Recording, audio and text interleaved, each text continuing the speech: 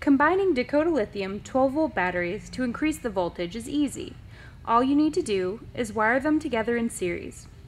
You just need your batteries and some jumper wires compatible with our standard F2 terminals.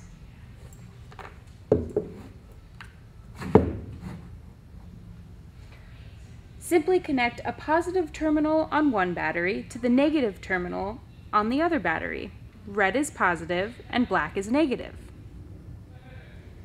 positive terminal to negative terminal.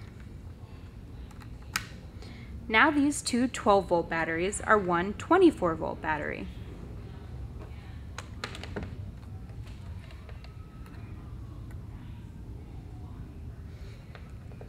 Use the open terminals to connect your device to the power source. If you need more voltage, you can add another.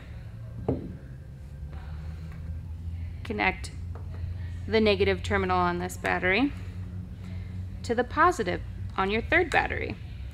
And now this is a 36 volt battery. You can continue to add more batteries for more voltage.